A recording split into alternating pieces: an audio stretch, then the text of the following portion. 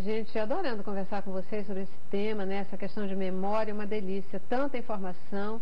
E se você quiser que a gente continue, manda aí falar, manda as perguntas que você quer que a gente faça aqui para os nossos especialistas. A gente faz um novo programa para continuar falando aqui sobre memória, né? Porque tem muita, muita coisa mesmo bacana para a gente é, poder falar. Vem cá, perda de memória é coisa ligada à velhice? Não. Não. Nunca. Genética uhum. também, né? Não, uhum. isso é uma cultura negativa que envelhecer envelhece o cérebro e as pessoas ficam mais esquecidas. Uhum. Isso ela se impõe. Uhum. E não absolutamente tem a ver com, com. Agora, obviamente, problemas fisiológicos, né? Químicos, como a doutora falou, né? Alterações de metabolismo, isso causa é, perda, de, perda memória. de, memória. Isso não tem idade. Uhum.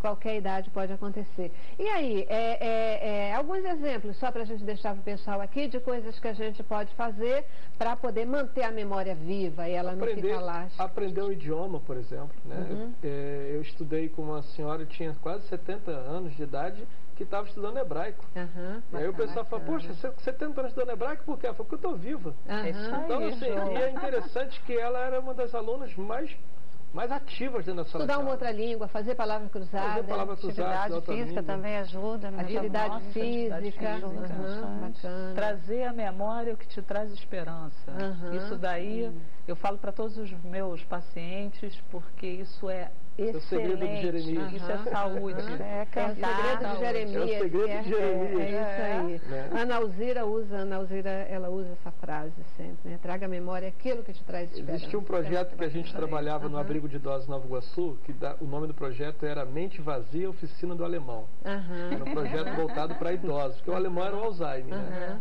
Então a gente trabalhava com diversas oficinas para os idosos. E era fantástico você ver idosos que estavam assim parados, ociosos, ociosos e, sabe, o prazer que eles tinham de estar desenvolvendo aquelas oficinas. Então é muito, muito importante. Tem uma, tem uma sugestão para você, se quiser, jardinagem. É bacana também. Poxa, fazer jardinagem muito. é uma delícia. Cantar também faz muito bem. Hã? Cantar. Cantar, também. cantar ah, também. Isso aí. Quais são as principais doenças que afetam a memória? A gente sempre fica lembrando Alzheimer, mas tem é. outros, Alzheimer né? é o estresse. É, o estresse, depressão, ansiedade, né? Aí tem uso de drogas, álcool, né? né? O alcoolismo principalmente, que afeta Sim, bastante a memória. Afeta a parte também da, dos movimentos da memória, né? que é hipocampo sim. e o cerebelo também. Aí tem as doenças todas neurológicas que muitas afetam a memória, doenças metabólicas. Mas vamos só ficar aqui só para a gente é, poder lidar com essa questão. Se começar a ficar muito ansioso, trata da ansiedade. Aliás, a Bíblia nos ensina, não fique ansioso com coisa nenhuma. Olha, o Senhor cuida das plantas. Você já olhou os lírios dos campos, como eles se vestem, como eles são exuberantes? O Senhor cuida deles, por que não cuidaria de nós, né?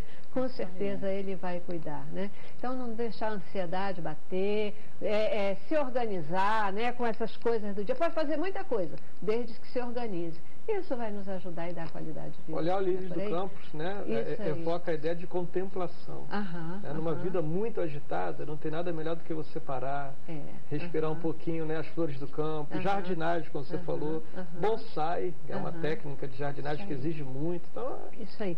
Olha só, é, eu ouvi outro dia a gente dizer assim, ah, parece que o tempo está passando muito rápido, o tempo está voando, não sei o quê. E eu ouvi um, um especialista que diz, é porque a gente não tem mais tempo para contemplação contemplação. Contemplação. A gente precisa de tempo para contemplação. Queridos, Aliás, é uma prática do Ocidente, né, uhum. Celeste? É, o Ocidente, é. É.